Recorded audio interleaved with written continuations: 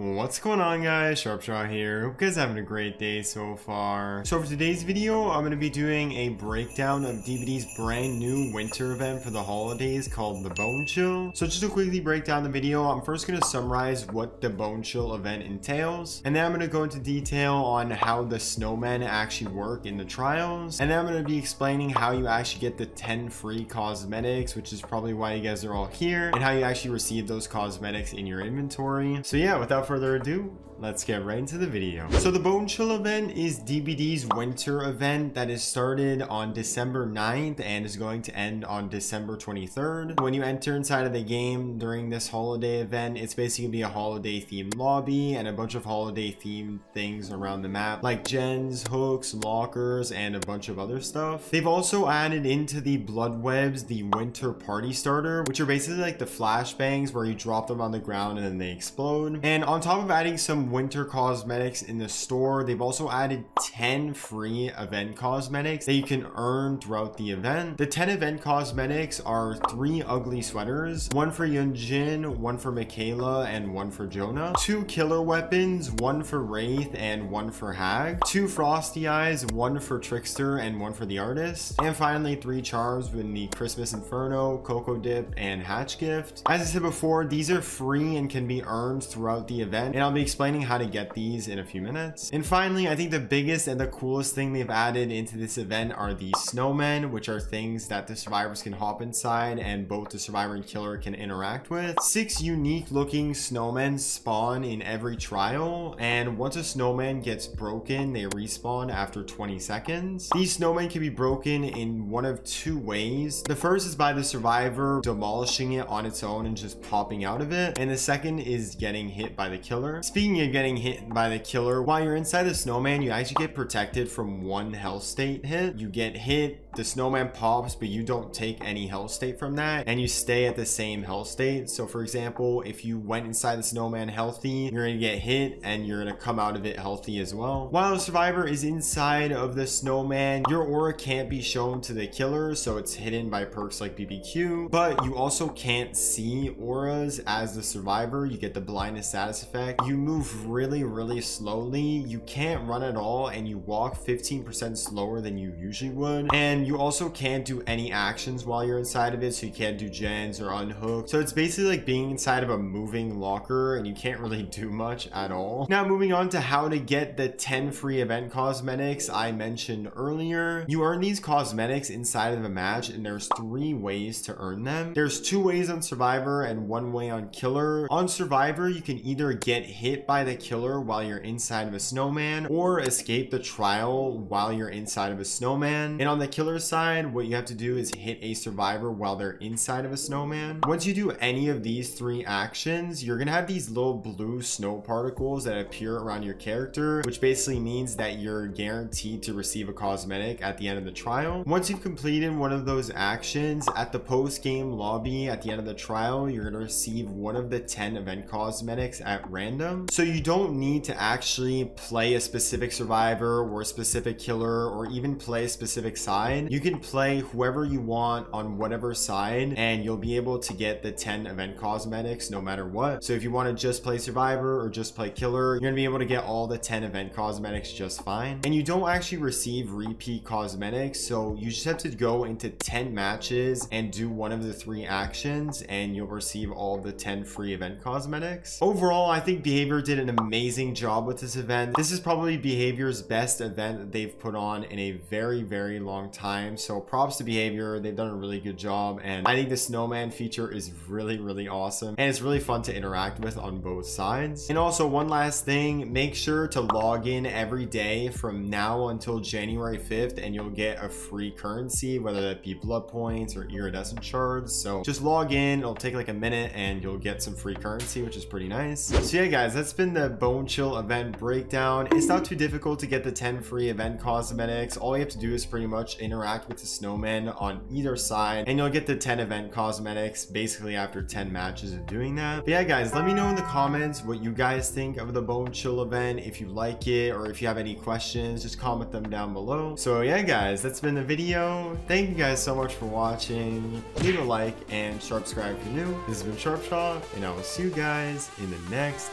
video.